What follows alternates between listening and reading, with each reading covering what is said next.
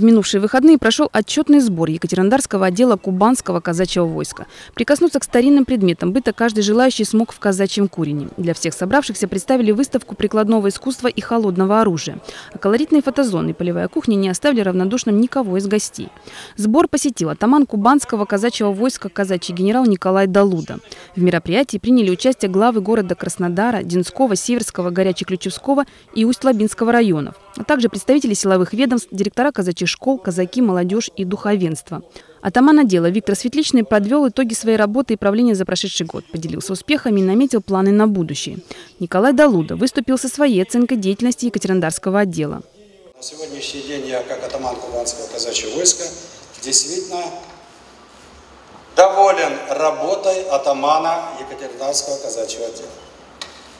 Это человек, который живет казачеством, это человек, который очень много делает и пытается делать для развития именно всех казачьих обществ, которые входят в состав казачьего дела. На сегодняшний день достаточно сильные атаманы районных казачьих обществ и первичных казачьих обществ в Услабинском районе, в Северском районе, в Горячеключевском районе.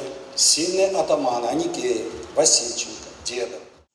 В Екатериндарский отдел входит больше 6 тысяч человек. С каждым годом это количество растет. Увеличивается число обязанностей. Николай Далуда отметил, что на высоком уровне в отделе подготовка военно-полевых сборов, организация проведения корниловских поминовений. Улучшилась постановка на первоначальный воинский учет и отправка казаков в вооруженные силы. Большая работа ведется по патриотическому воспитанию подрастающего поколения. За личный вклад в развитие в систему казачьего образования на сборе объявлена благодарность Ирине Лысенко, классному руководителю класса казачьей направленности школы номер 59 станицы станицы Северской, и Михаилу Кудовскому, лидеру Северского муниципального отделения Союза казачьей молодежи Кубани. В Северском районе ликвидировали горение травы и дома общей площадью 1000 квадратных метров. Пожар в селе Львовском начался 10 августа около 16 часов. Предположительно, со стороны республики Адыгея загорелась трава. Из-за ветра огонь перешел на жилое строение. В 16.22 на место прибыло первое пожарное подразделение. Установили, что загорелся частный дом и хозпостройки на площади 100 квадратных метров и сухая трава на площади 900 квадратных метров. Сгорел дом, хозяйство, козы, куры сгорели, это самое, гуси погорели. Ну, короче, вот, документ, вот машина стоит отца, он там сидит. Вот что документы у него, его, все, остальное все сгорело. В тушении пожара задействовали 16 человек и 4 единицы техники. На месте работал вертолет Ми-8 авиационно-спасательного центра МЧС России с водосливным устройством. Руководил работами по ликвидации пожара начальник пожарно-спасательной части Северского района Сергей Исаков.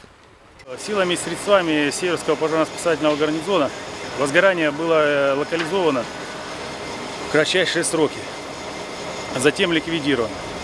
В тушении пожара принимали силы и средства Северского пожарно-спасательного гарнизона, гарнизона города Краснодара также, э, силы и средства частной пожарной охраны, э, силы и средства муниципального образования, также спасательного отряда.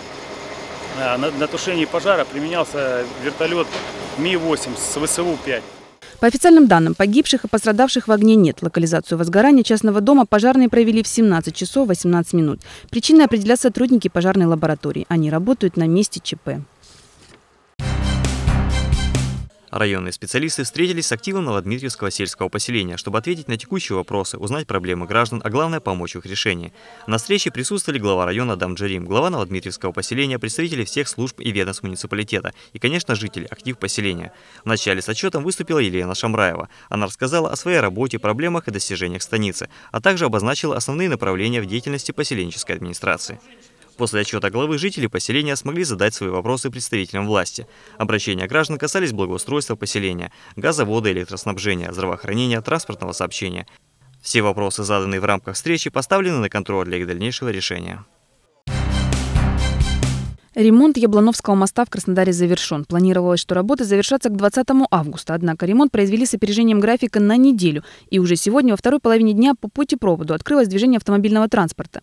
На Яблоновском мосту произведена полная замена шести пришедших в негодность температурных швов. На их ремонт требовались значительные финансовые средства. Специалисты работали круглосуточно, что позволило сократить срок работ. В ночь с воскресенья на понедельник строители сделали финальный слой, выравнивающий заливки на всех швах и нанесли дорожную разметку.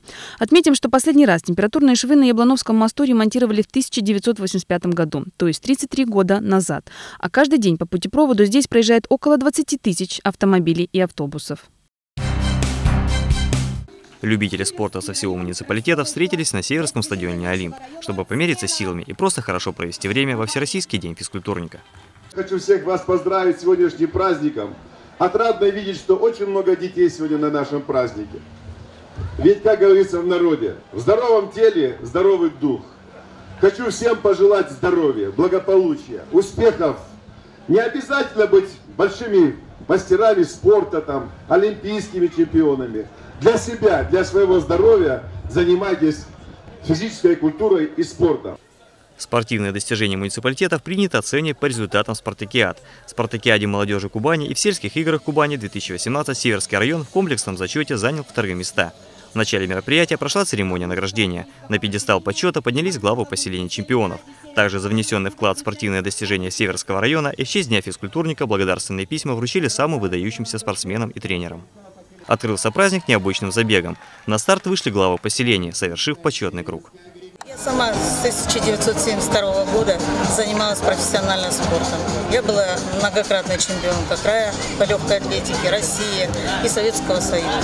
Сейчас, став главой поселения, мне хочется, чтобы спорт возродился в поселении так же, как и многие годы назад. В этом году наше поселение заняло призовые места по стритболу девочки в крае, в районе, по футболу. Признание награды, которую получают спортсмены, это в первую очередь заслуга тренеров. Ежедневно они прикладывают немало усилий для того, чтобы подопечные смогли реализовать свои таланты. Труд такой как бы тяжелый, приходится много тренироваться, результаты приличные. Допустим, в этом году самые свежие выиграли Кубок губернатора в двух возрастах девочки.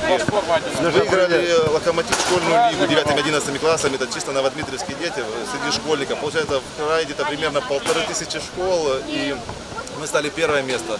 Это уже как бы не первый год, в том году тоже были первые. В том году выиграли спартакиаду учащихся Кубани. День физкультурника объединяет всех – взрослых и детей, тех, кто добился хороших результатов и тех, у кого победа еще только впереди. Занимаемся футболом у Федора Ильича, потому что нам это очень нравится. И мы хотим стать здоровыми, сильными пацанами и стать чемпионами, чтобы получить золотой кубок сбор э, Северского района. Спортсмены соревновались в таких видах спорта, как эстафета 4 по 100, смешанное перетягивание каната, шахматы, пляжный волейбол, мини-футбол, стритбол и масс-рестлинг. День физкультурника – один из любимых праздников всех, для кого спорт – это стиль жизни.